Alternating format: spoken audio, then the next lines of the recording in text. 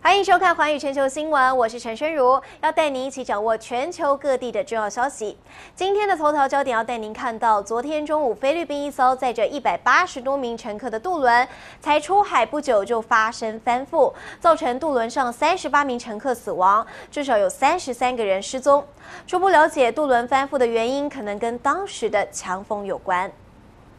法国一家渡轮公司旗下四百多位员工，因为担心工作不保，就发起大规模罢工。结果，英法两地的货车全部都上不了渡轮，只好塞在公路上。车阵是绵延超过四十八公里，有人是开了两天，只前进五百公尺，真的是动弹不得。巴基斯坦一列载有军队的火车在前往战地途中发生出轨意外，车上有十二名军人死亡，上百人受伤。有人怀疑铁轨被人为破坏。而在美国的田纳西州，一辆载有易燃物跟有毒气体的货运列车同样也出轨，当地至少五千多位居民都被紧急疏散。经过多年诉讼，英国石油公司终于跟美国联邦政府还有墨西哥湾沿岸五大洲的州政府和解了，支付将近一百九十亿美元的赔偿金。二零一零年，英国石油公司的爆炸漏油事件，当时导致有十一名工人死亡，也引发了海洋污染，当地渔业跟旅游业都受到波及，也成为美国史上最严重的海上漏油事故。还要看到激进组织 IS 这个月一号攻击位于西奈半岛的埃及陆军检查哨，杀死超过一百个军迷，并造成五十多人受伤。那这也是 IS 在西奈半岛所发动的最大规模攻击。伊核谈判进入最后冲刺，昨天各国代表再一次齐聚奥地利，希望可以达成共识。但是大陆跟德国的外交部长对于谈判结果看法却大不相同。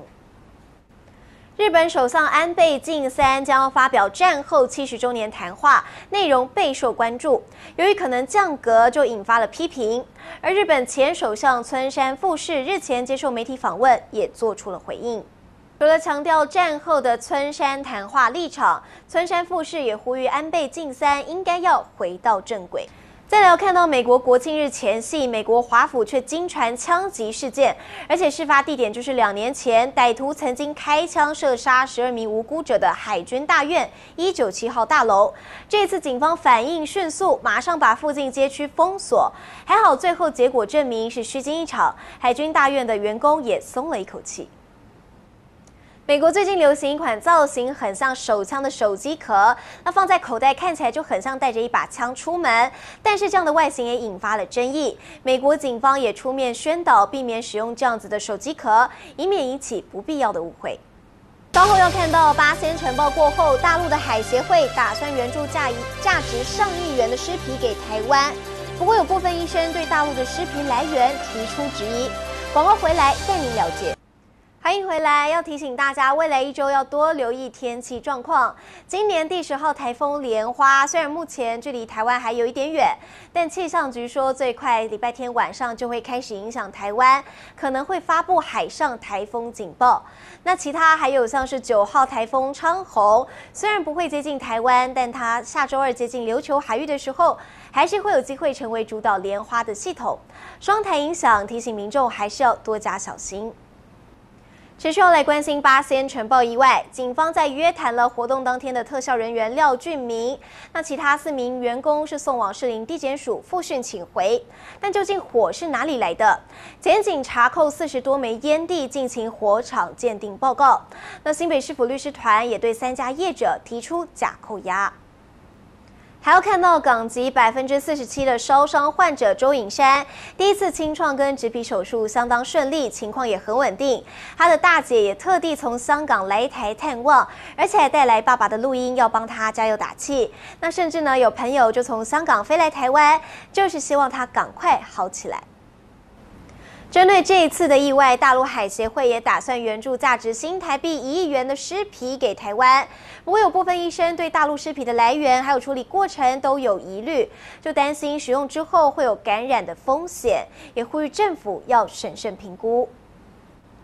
这些承包伤者未来非常需要尸皮当敷料，但尸皮这两个字却让女星贾永杰听了非常不忍，她就在脸书上发文直呼不要再说尸皮了好吗？希望外界可以用更尊重的名称。但是医生就反驳了，这本来就是医学的专有名词。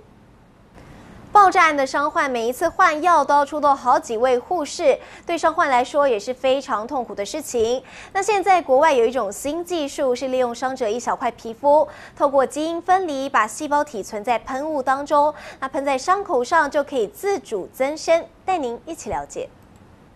这次意外当中不幸过世的刘志伟，生前最喜欢的偶像就是歌手蔡依林，还有台艺设计师吴继刚。之前蔡依林跨海录音，吴继刚也拜托妈妈送花，但刘志伟最后还是伤重不治。蔡依林跟吴继刚得知消息之后都很难过。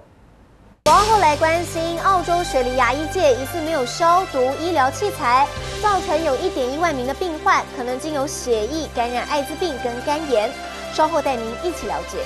欢迎回到全球新闻，要来看到澳洲雪梨牙医界惊爆大规模感染事件。当地电视台指出，至少四间雪梨牙医诊所疑似因为没有消毒医疗器材，造成有一万一千名的病患，现在很有可能经由血液感染艾滋病跟肝炎。当地的卫生机关已经撤销六名牙医的执照，其中也包含了一名华人牙医。南韩今天又新增一起 MERS 病例，确诊人数是新增到一百八十四个人。南韩保健福祉部指出，这起病例是一名护士，可能在照顾患者的时候不小心感染了。另一方面，痊愈的患者已经达到一百零二个人，但是南韩还是在持续通报出现新的病例，导致疫情结束的时间点恐怕还会再往后延。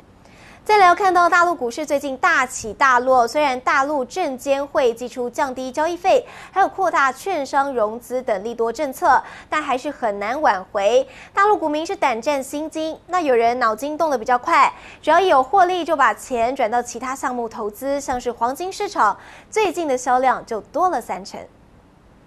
希腊宣告倒债之后，虽然向国际债权人要求延长现有的纾困计划，并提出新的方案，不过欧元区还是拒绝协商，表示要等到希腊公投之后再考虑。